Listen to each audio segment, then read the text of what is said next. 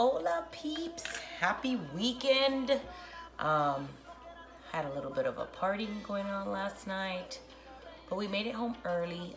I feel great this morning. Oscar, on the other hand, did not feel really good this morning.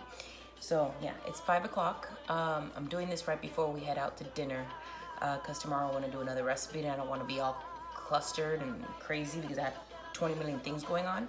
So very quickly, we're gonna go over the frijoles negro, which are black beans. Um, black beans are always a side dish in my house, probably like two or three times a week. Um, sometimes I don't make them. Sometimes my mother-in-law sends them to me or my dad makes them. Uh, when I make them, I just make the simple recipe, you know, uh, the sofrito with the the lacón or the hogs, the hog's feet. I don't have that today, so I just use smoked bacon whenever I don't have it.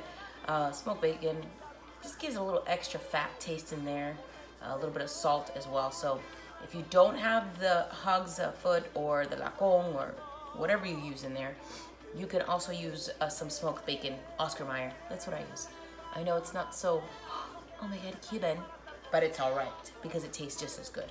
So first things first, we wanna go ahead and put our Instant Pot on saute.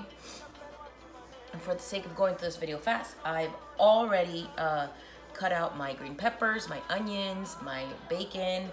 Um, if you wanna talk about sizing as far as the cumin, I did, uh, uh, I chopped up four, I minced up four, six uh, garlic cloves. I did uh, two tablespoons of tomato paste, as well as two and a half or two, two teaspoons of cumin.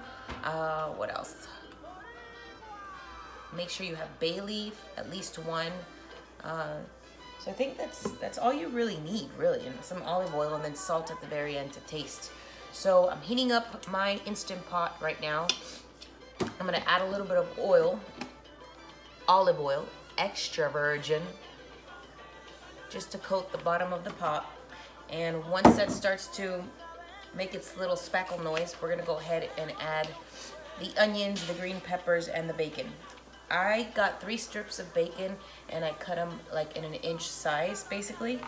And then the onions and the peppers are also cut really big and rough because it dissolves. There's gonna be so much water there that it'll dissolve quickly. So I'm gonna toss all three of those in there. Onions, green peppers, and the bacon, smoked bacon.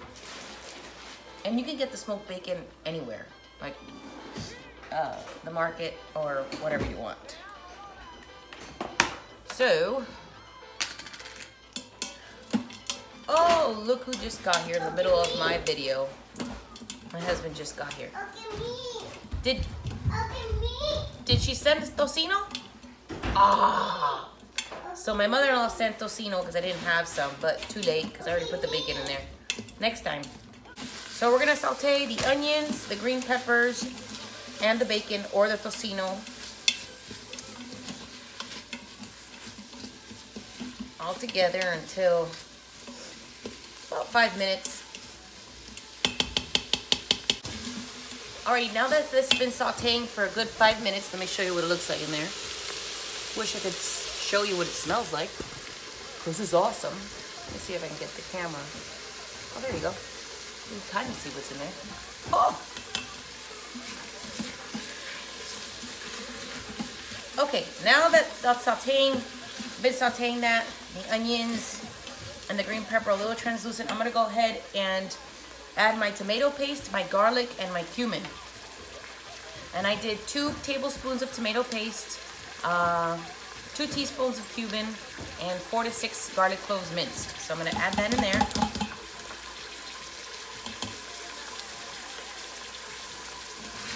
Mix it all around. And saute that for another one or two minutes.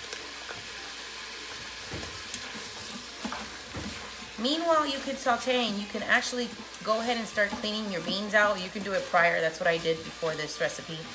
Cleaned out my beans, took out any of the bad beans or the little rocks that they come with. All right, once you added all your sofrito and your ingredients, go ahead and add your little bay leaf in there.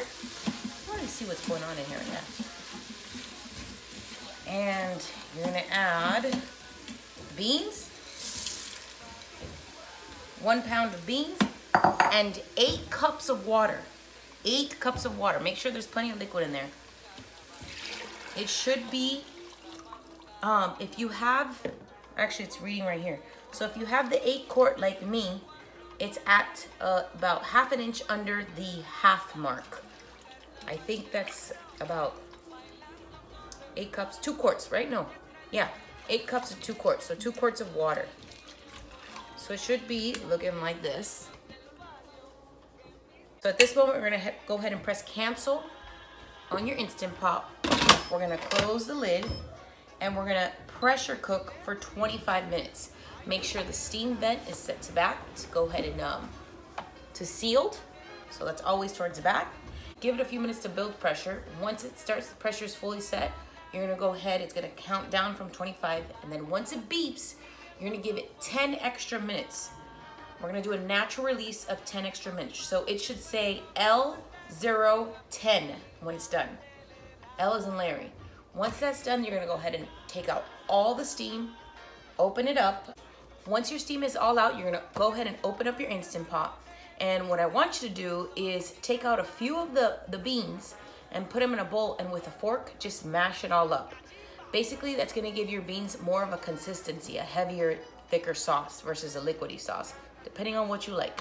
So if you do want a thicker sauce, take out like maybe three quarters of a, of a cup of beans or just like a three, like dig some, put them in a bowl, grab a fork and mash it. And then just toss it back in there, mix it around. Saute it for another five minutes and go ahead and taste the beans and add a little bit of salt depending how salty they are or, or not salty, go little by little. Babe, you're making me nervous. I never done the videos in front of him, so. I look like Gaga in this video.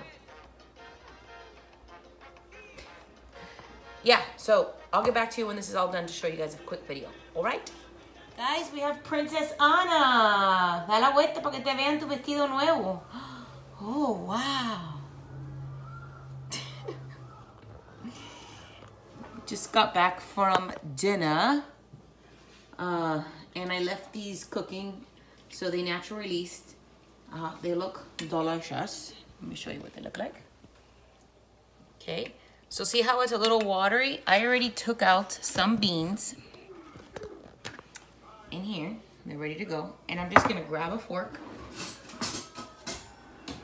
and smash the crap out of them Sorry for the crying.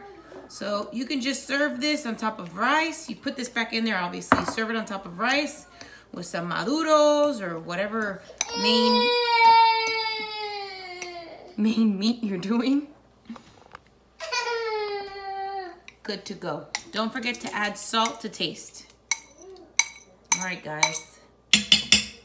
Hope you have a good Sunday and sorry.